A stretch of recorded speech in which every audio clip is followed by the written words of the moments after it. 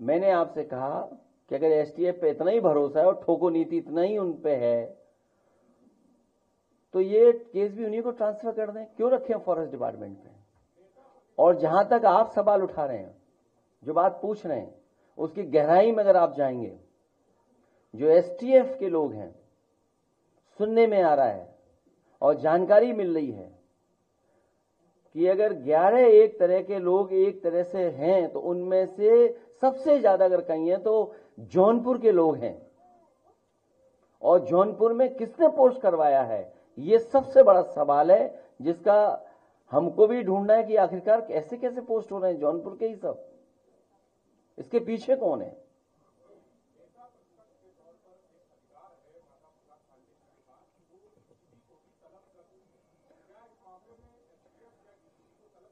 मैं तो कहूँगा लीडर ऑपोजिशन का अधिकार है तो वो बिल्कुल उसका इस्तेमाल करें।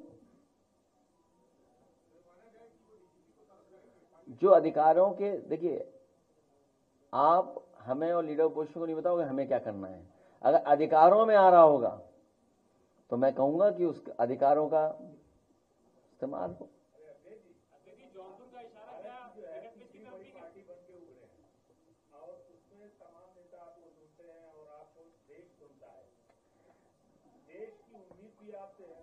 तो ये जो अभी कल एक स्टेटमेंट आया है गृह मंत्री जी का वक्त। तो वक्त पे क्या आपका स्टैंड है?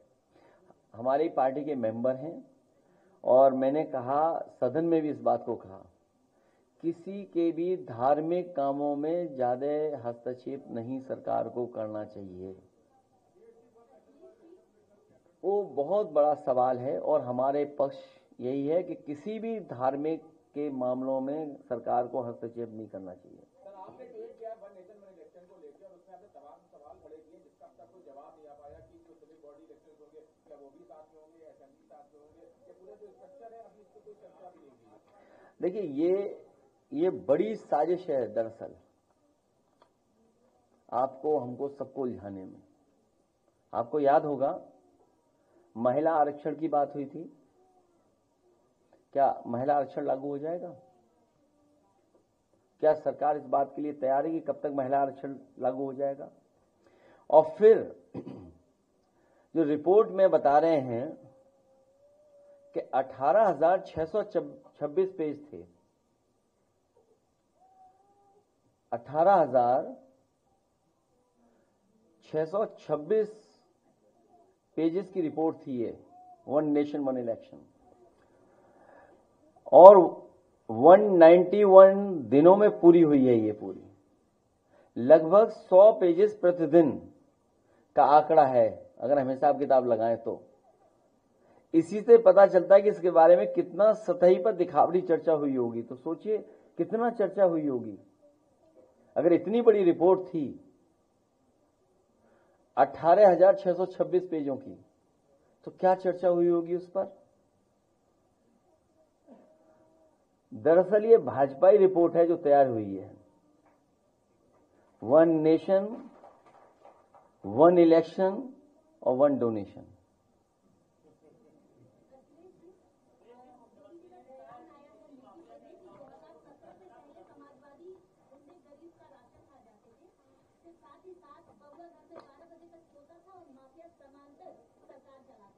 ये सब घिसे पिटे डायलॉग हैं पुराने वाले। और मैं इसीलिए कहता हूँ कि ये सब पुराने डायलॉग हैं, पुराना सब कुछ है हिसाब किताब। उत्तर प्रदेश की जनता नया चाहती है, नया विकास चाहती है। इनको हटाएगी सरकार। ये हटने जा रहे हैं।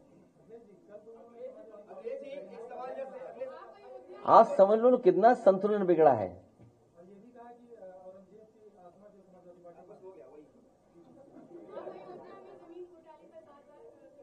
देखिए, इन मैंने आपसे कहा और कई बार मैंने आपसे, आपके बीच में इस बात को कहा कि उत्तर प्रदेश सरकार को कम से कम टॉप टेन माफियाओं की सूची जारी करनी चाहिए। वो टॉन टॉप टेन माफिया कहाँ है और किस दल में है? इसकी सबको जानकारी हो जाएगी। मुख्यमंत्री जी, पहले मुख्यमंत्री हैं जिन्होंने अपने मुकदमे वापस लिए हैं। और कितने गंभीर मुकदमे लिए हैं? कितने गंभीर मुकदमे लिए हैं? ये हमारे आदरणीय माता प्रसाद पांडे जी सब जानते हैं उनके बारे में। और अगर विस्तार से सुनना चाहो तो मैं कहूँ माइक उन्हें दे दू। तो ये जो मुख्य मुद्दे हैं, उन मुद्दों से ध्यान हटाने के लिए मुख्यमंत्री जी लगातार इस तरह की बातचीत कर रहे हैं एक सवाल है कि आपको लगता है कि सरकार आपके विधायकों पे भी आपके कार्यकर्ताओं पे बदले कार्रवाई कर रही है जाहिद बेग जो आपके एमएलए हैं उनकी नौकरी की मौत पर अमेंडमेंट टू का मामला दर्ज किया गया उनकी पत्नी पर उनकी देखिए बहुत दुखद है कि अगर ऐसी घटना हुई है कहीं क्योंकि हर एक के घर में कोई ना कोई काम करने वाला व्यक्ति या इस तरह का रहता है। कभी कोई घर परिवार वाला नहीं चाहेगा कि ऐसा हो जाए उसके घर में ऐसी घटना हो जाए। उन्हें इसीलिए परेशान किया जा रहा है कि एक तो वो समाजवादी पार्टी है और दूसरा भारतीय जनता पार्टी को इससे लाभ मिलेगा। हिंदू मुस्लिम डिवाइड करने में। ये पहले दिन से स्ट्रेटजी है भारतीय जनता पार्टी की कि समाजवादी पार्टी को कैसे बदनाम किया जाए। और अगर कहीं कोई मुस्लिम है तो बदनाम समाजवादी पार्टी पार्टी को कर दो।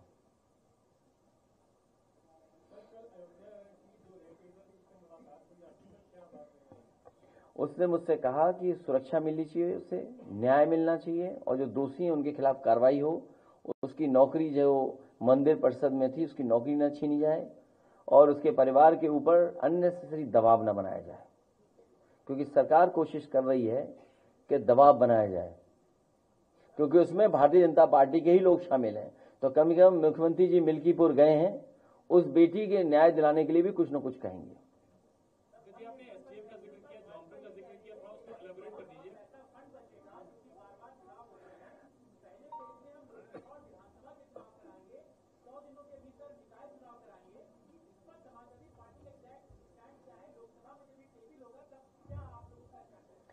कल को भारतीय जनता पार्टी ये कहेगी, क्योंकि वन नेशन वन इलेक्शन हो जाएगा।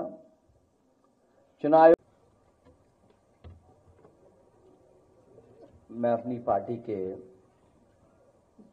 संगठन और पार्टी के बहराइच के नेताओं का धन्यवाद देता हूँ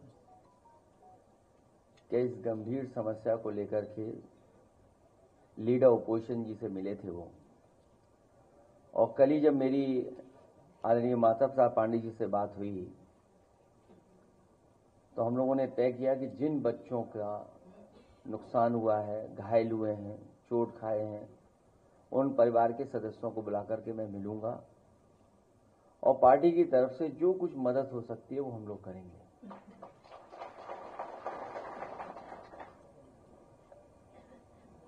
जब से भारतीय जनता पार्टी की सरकार उत्तर प्रदेश में बनी है जानवरों का आतंक हर जगह देखने को मिल रहा है।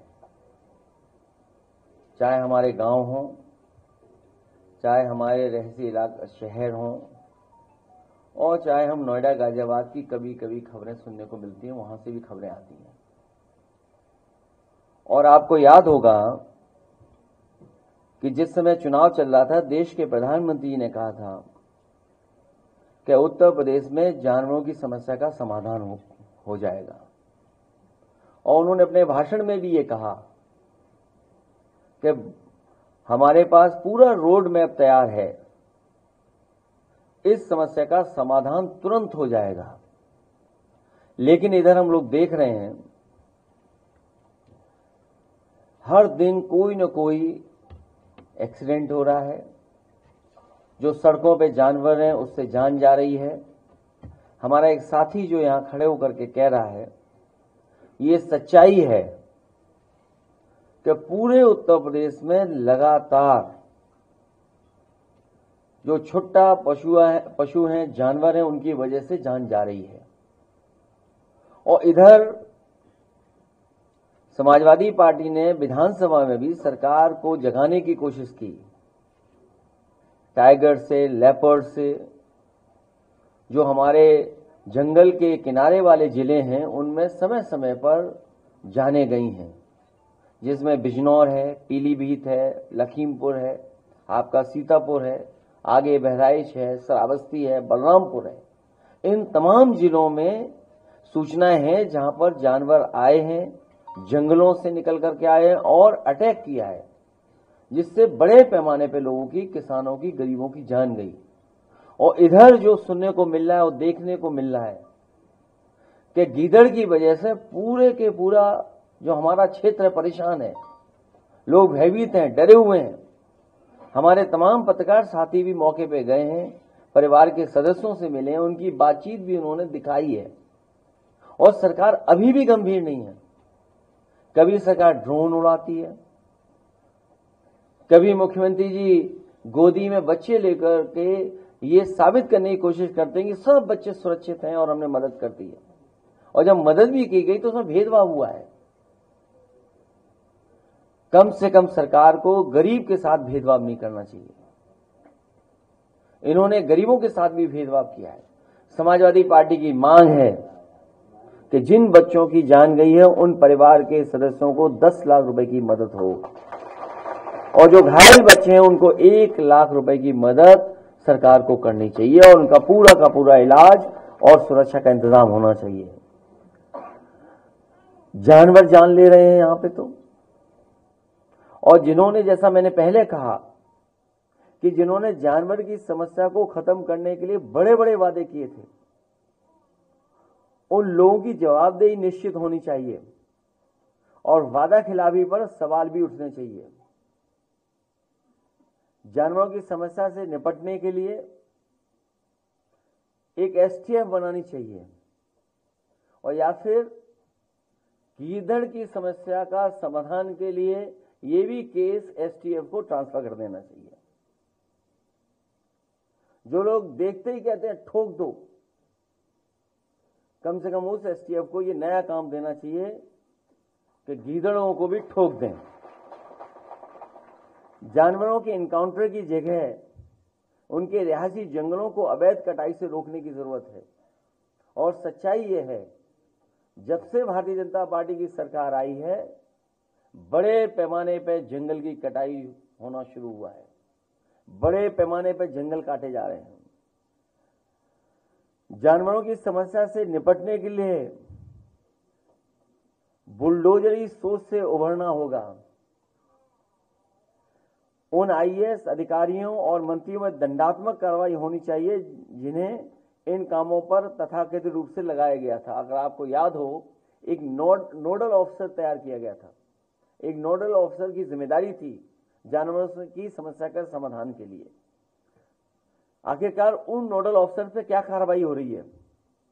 क्या कोई दंडात्मक कार्रवाई सरकार ने की है कि नहीं किया ये क्या सरकार करेगी उन पर? इस काम के लिए दिया गया अरबों का फंड कहाँ गया? क्योंकि वाइल्ड लाइफ मैनेजमेंट पे जो खर्चा होता है या समय समय पे जो सूचना मिलने पर सरकार खर्च करती है, आखिरकार वो अरबों रुपए का क्या हुआ पैसे का? क्या वजह है कि उनके अपने लोगों को बंदूक लेकर के निकलना पड़ रहा है? या हो सकता है कि जिन मंत्री का विभाग है, उन्हें भी काम करने का मौका न मिल रहा उन्हें काम करने न दिया जा रहा हो।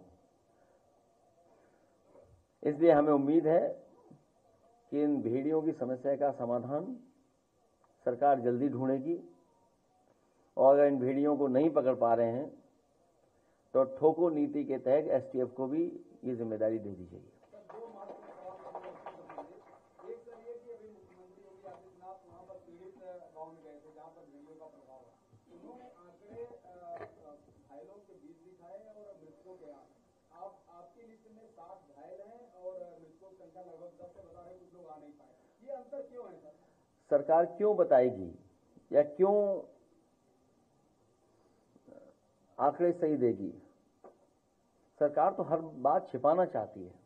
अब इन जिलों में बाढ़ है।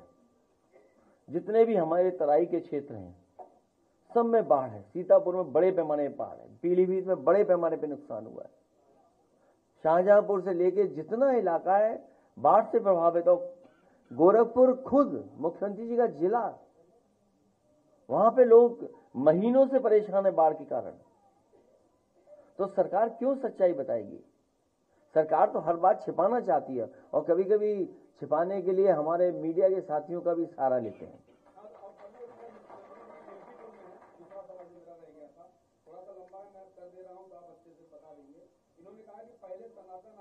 खिलवाड़ होता था, इनको तो विवादित ढांचा प्यारा था, ये राम भक्तों का समाजवादी पार्टी को अंधेरा पसंद है। क्या कहें सर इस तरह जो आरोप लगाया मुख्यमंत्री जी ने बोला। इधर मुख्यमंत्री जी और मुख्यमंत्री जी के स्टेटमेंट कुछ अलग तरह से आ रहे हैं। समाजवादियों ने और खासकर मैंने कभी किसी संत, किसी अपने महंत, किसी सन्यासी के बारे में कुछ नहीं कहा। अगर उनको लगता है कि वो शब्द ऐसा है जिसका भाव वो किस रूप में ले रहे हैं तो हम तो ये कहेंगे कि हमारे उत्तर प्रदेश के मुख्यमंत्री नहीं है, वो मठाधीश मुख्यमंत्री हैं। और फिर मठाधीश मुख्यमंत्री से उम्मीद भी क्या करोगे आप? इसी तरह की भाषा की उम्मीद करोगे? और ये एक दिन से नहीं हुआ है। जब से बीजेपी हारी है, तब से कुछ संतुलन गड़बड़ा गया है एक बात सर उन्होंने और कही कि भाई इसी प्रकरणों में है कि भस्मासुर बन गया जब से 2024 में ज़्यादा सीटें मिली देखिए, जितना हमने पढ़ा है, या जितने यहाँ लोग बैठे हैं जिनको जानकारी होगी, उन्होंने कहा कि सपा और कांग्रेस भस्मासुर हैं। देखिए, भस्मासुर दो नहीं हो सकते हैं। बीजेपी अपने भस्मासुर को ढूंढ रही है।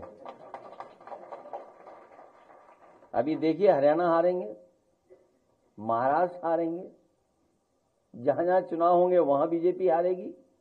कम से कम बीजेपी को अपना भस्मासुर तो ढूंढना चाहिए।